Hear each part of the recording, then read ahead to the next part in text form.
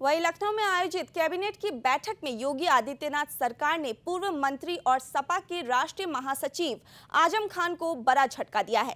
Samajwadi party नेता आज़म खान की जोहर trust से ज़मीन वापस लेने के प्रस्ताव को सरकार ने मंजूरी दे दी है। आपको बता दें कि कैबिनेट में जोहर ट्रस्ट से जुड़ा प्रस्ताव रखा गया था। इस पर कैबिनेट ने विचार के बाद मंजूरी दे दी है। दरअसल, रामपुर विधायक आकाश सक्सेना ने सोमवार को सीएम योगी आदित्यनाथ से मुलाकात की थी। इस क्रम में उन्होंने जोहर ट्रस्ट को गलत तरीके से ज़मीन देने का मसला उठाया था।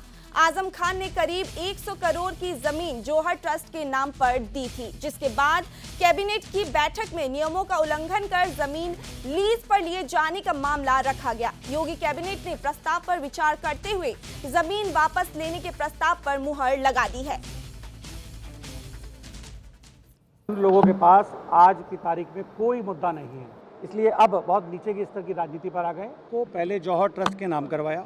और दोबारा समाजवादी पार्टी की सरकार बनने के बाद उस लीज को ट्रांसफ़र करते हुए रामपुर पब्लिक स्कूल के नाम से मात्र सौ रुपये में उसको अपने नाम आवंटित करवाया। आज अगर हम देखें तो सौ करोड़ की कीमत की ये ज़मीन मात्र सौ रुपये साल पे इनके पास चल रही थी। हमने इसकी शिकायत की थी, शिकायत में हर बिंदु सही पाया गया।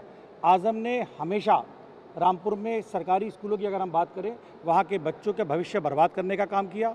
46 साल विधायक रहने के बावजूद एक बार भी आज़म किसी सरकारी स्कूल की मरम्मत तक कराने उस स्कूल में नहीं गए। वहाँ शिक्षा का व्यवसायीकरण किया। वो चाहते थे कि शिक्षा से जो भी कुछ हो, वो उनके पास आना चाहिए। लोकसभा में खड़े होकर बयान दिया जाता है कि मैं रामपुर के बच्चों को बीस रुपये पढ़ा